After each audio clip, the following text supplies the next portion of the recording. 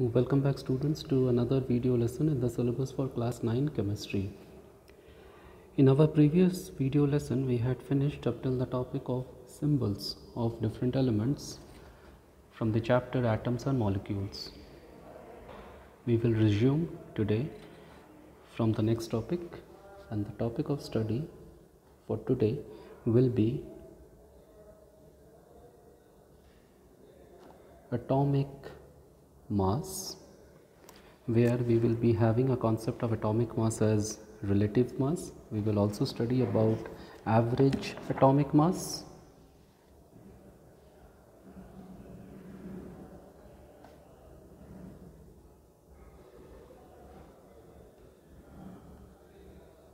Followed by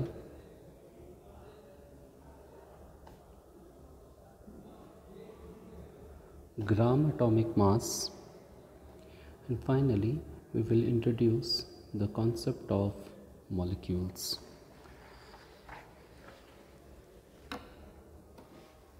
So let's begin today's discussion with the topic of study that is atomic mass. We know that the smallest portion of matter is atom. It is so small in size that it may not be possible to isolate a single atom and then weigh it. Moreover, the mass of the atom of an element is also extremely small. For example, an atom of hydrogen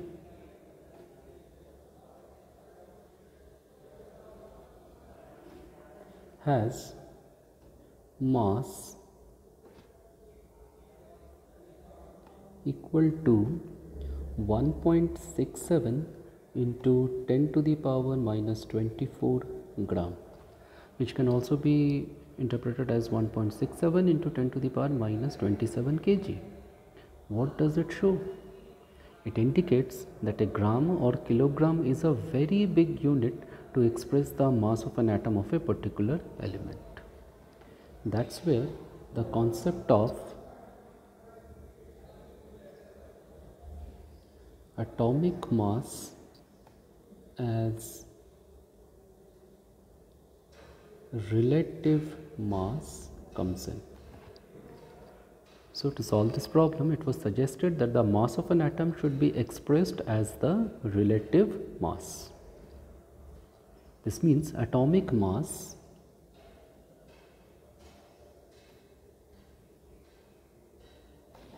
of an element is not its actual mass but relative mass. Whenever we are making use of this word relative, we are necessarily trying to express the value of any quantity by the help of comparing it with a standard. In this case, when we talk about atomic mass as relative mass, we do it by fixing the mass of some atom of a particular element as the standard mass. So, it could be done by fixing the mass of some atom of a particular element as the standard mass. The masses of the other elements could be compared relative to it. Now, in the beginning, hydrogen was chosen to be a standard element because it happens to be the lightest of all the elements. The relative atomic mass of an element with respect to hydrogen. Relative atomic mass of an element with respect to hydrogen can be written as mass of one atom of the element divided by mass of one atom of hydrogen. The relative atomic mass is expressed in units known as atomic mass unit which in short is written as AMU. However, it can also be simply represented as U that stands for unified mass. An atom of oxygen is 16 times heavier than the atom of hydrogen. This means that if atomic mass of hydrogen is 1 U, then the atomic mass of oxygen will be 16 U. So if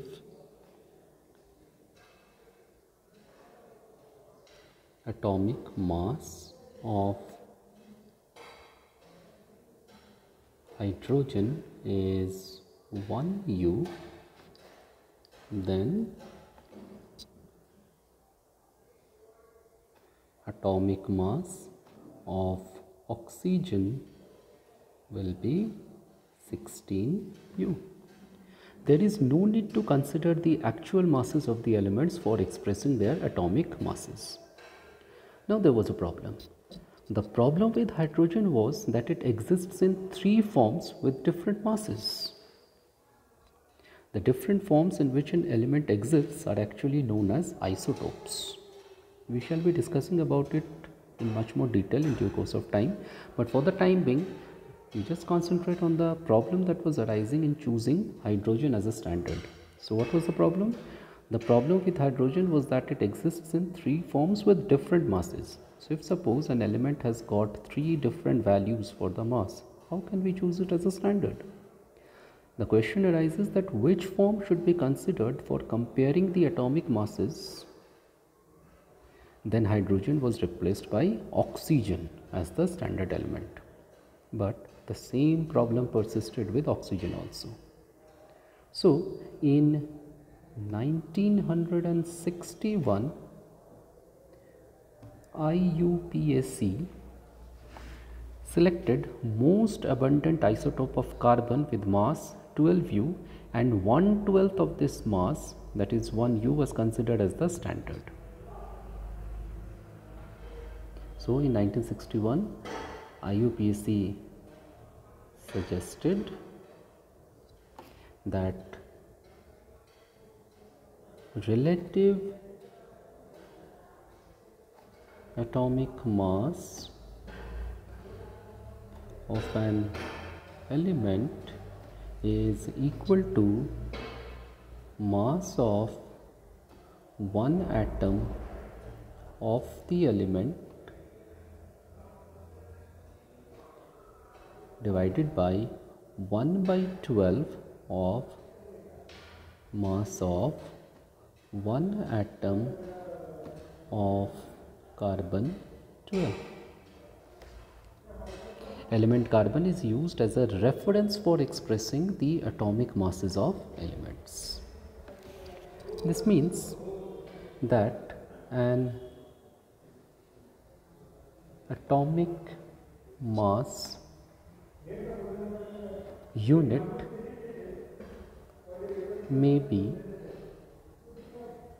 defined as the mass of 1 by 12th of the mass of one atom of C12.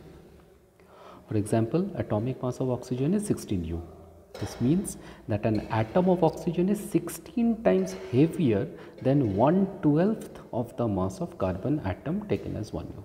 Thus, atomic mass of oxygen for example will be equal to 16 times the mass of 1 12th of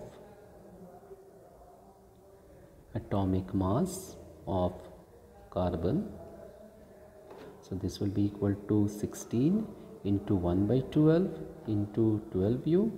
So that should be equal to 16 So this is the concept of atomic mass as relative mass. Now most of the elements exists in a number of forms having different atomic masses. As I was saying that these are known as isotopes as was the situation with hydrogen. Hydrogen actually exists in three different forms. The three different forms in which an atom might exist. Different forms in which an element may exist these are called isotopes.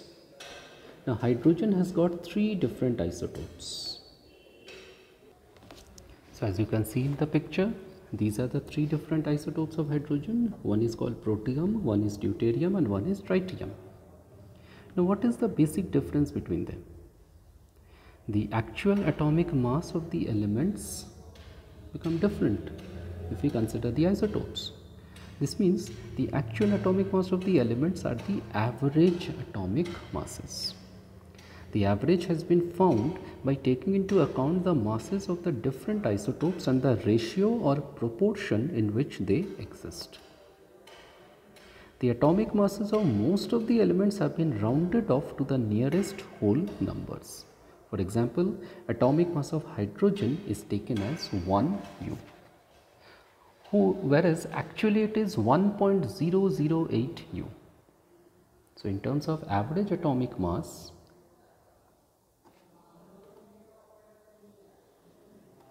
relative atomic mass of an element will be equal to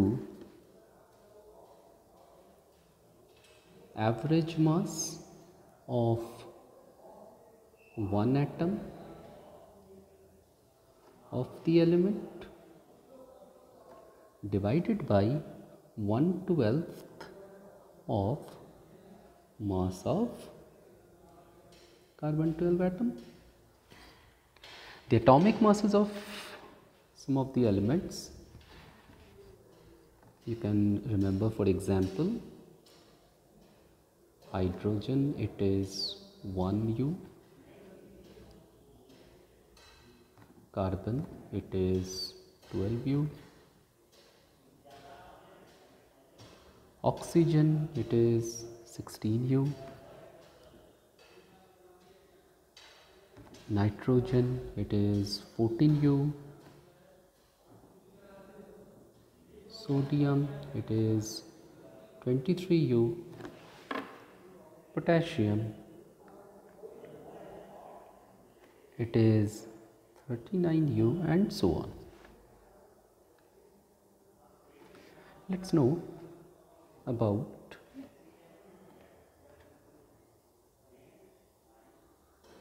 gram atomic mass it's quite simple the atomic mass of an element expressed in grams. For example,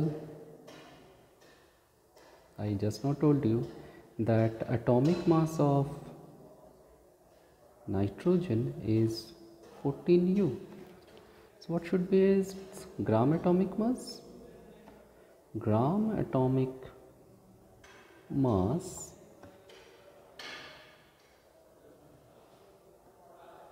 is equal to 14 gram. Similarly, if we consider the atomic mass of sodium which is 23U, what should be the gram atomic mass? It should be equal to 23 grams. Now, I would like to tell you at this point that gram atomic mass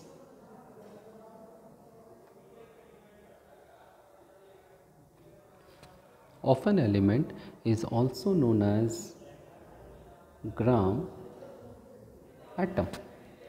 Thus 1 gram atom of nitrogen is the same as its gram atomic mass. So now a question arises how do atoms exist? We have studied that the smallest portion of matter is known as atom and it has an extremely small size. In general, the atoms of most of the elements do not exist independently of their own. The elements of inert gases that are also called noble gases are the exceptions in this case. For example, the atoms helium, neon, argon can exist independently. But what about the atoms of other elements? The atoms of the same or different elements are bonded together tightly by strong forces of attraction also called chemical bonds. So, the atoms of the same or different elements are bonded together by strong forces of attraction that are called chemical bonds. The new species which are formed as a result of this chemical combination are called molecules.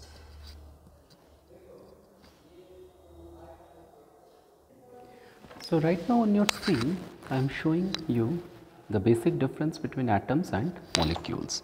As I told you that the atoms of the same or different elements are bonded together tightly by strong forces of attraction called chemical bonds. So, the new species which are formed as a result of this chemical combination are called molecules. So, what are molecules? Molecule represents a group of two or more atoms, same or different, chemically bonded to each other and held tightly by strong attractive forces. So, molecule, molecule represents a group of two or more atoms which may be same or different that are chemically bonded to each other and held tightly by strong attractive forces. Molecules are represented in terms of symbols of constituting atoms and it is known as the chemical formula. Now, molecules and atoms, how do they differ from each other? Atom is the smallest portion of an element which can take part in chemical combination. It may or may not exist independently. Molecule is the smallest portion of a substance which may be an element or a compound which exists independently. Atoms with negligible mass and size cannot be seen while molecules which are aggregate of atoms can be seen. Now molecules are of two types.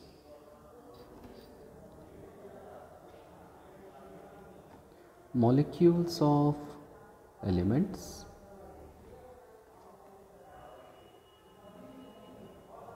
and molecules of compounds. So as you can see right now on your screen, molecules of elements and compounds. Let us discuss one by one. Molecules of elements. Molecules of elements are formed by the combination of two or more atoms of the same element. The number of atoms present in the molecule of an element represents its atomicity. So, a molecule of hydrogen is made from two atoms of hydrogen as you can see in the picture. So, its atomicity is 2 and it is represented as H2. Similarly, a molecule of oxygen is also made from two atoms of oxygen. Its atomicity is 2 and is represented as O2. A molecule of sulfur is made from 8 atoms of sulfur. Its atomicity is 8 and it is represented as S8. It is a polyatomic molecule. So, accordingly we can decide whether an element is monoatomic, diatomic, triatomic, tetratomic and so on. Like I would like to list some of which. Like for example argon. The symbol is AR it is monoatomic and it is written as AR hydrogen. Symbol is H. It is diatomic. It is written as H2 ozone. The symbol is O. It is triatomic, it is represented as O3. Phosphorus, symbol is P, it is tetraatomic, written as P4. Finally, sulfur, symbol is S, it is octaatomic symbolized as S8. Now elements like carbon which exist in the form of diamond and graphite in which a large number of carbon atoms are linked with one another, it is not possible to express the atomicity of such elements. Similarly in metals like sodium, copper, iron, so on, large number of atoms are closely packed in space as crystals. They too do not have any atomicity. Now I must like to tell you that recently a form of the element carbon has been found in which 60, I repeat 60 atoms of the element are combined to give a very big molecule. Just imagine it is C60 and it is known as Buckminster fullerene. Now coming to molecules of compounds.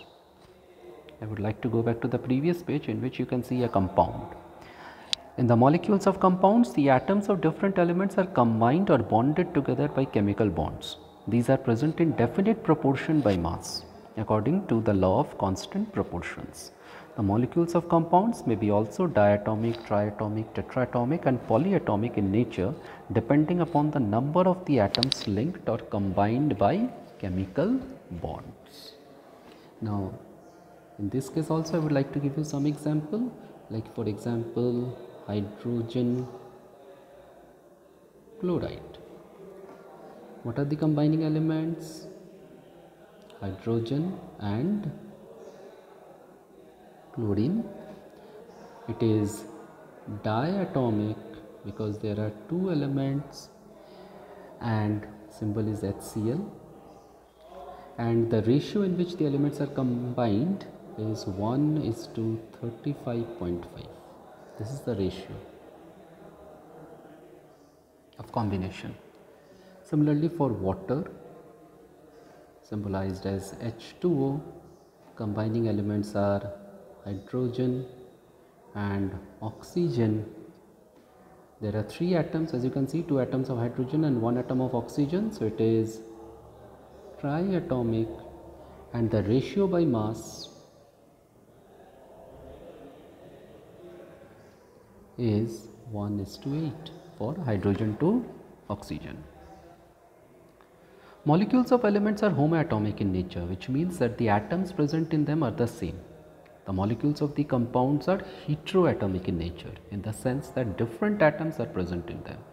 For example, molecule of nitrogen element is homoatomic, it is represented as N2 whereas in case of a molecule of methane it is CH4 which is a compound and it is heteroatomic in nature. I will end today's discussion at this point. In our next video lesson, we will be studying about ions and chemical formula. Thank you.